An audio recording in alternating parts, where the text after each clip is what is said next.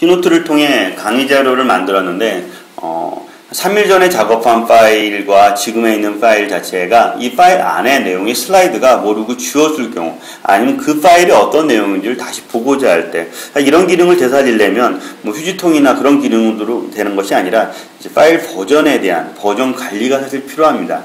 클라우드 기반의 서비스들 특히 이제 뭐 구글 같은 경우는 이런 부분들이 많이 지원이 되는데 기본적으로 이제 운영 체제에서 지원하시는 것이 아니라 이제 드롭박스 같은 경우는 이런 기능들을 제공을 해주고 있어요.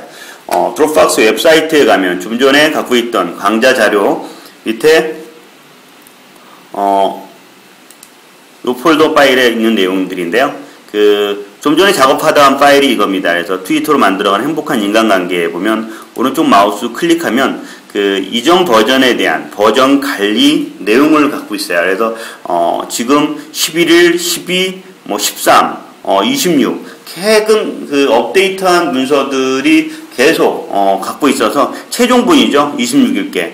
그 전께 이제 13일, 12일 분을 갖고 있는데 이 부분으로 restore 하겠느냐. 그렇게 되면 그 파일로 다시 restore 하게 되는 역할인데요.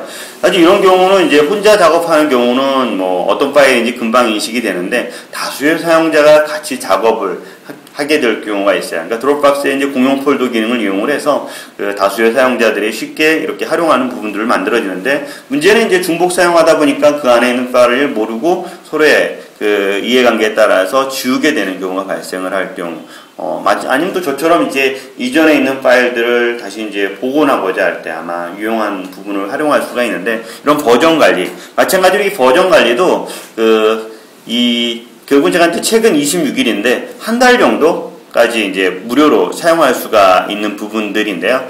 예, 만약에 이제 무료 계정일 경우 한 달이 고고 이제 유료 계정일 경우 유료 계정에 이제 팩넷이라는 기능을 또 사용을 하게 되면 무제한으로 이런 버전 관리를 활용을 해서 내가 뭐 그 한 달 전, 두 달 전에 있던 파일도 다시 복원해서 돌릴 수 있는 기능을 포함되고 있어요. 그래서 이런 버전 관리는 일반적으로 이제 운영 체제나 기본적으로 제공해주지 않는 기능들인데 이처럼 어 드롭박스 안에 내장되고 있어서 활용하는 부분들이기 때문에 아마 유용하게 활용하신다면 그 장애 뭐 문제가 되는 것들을 곧바로 해결할 수 있지 않을까 싶습니다.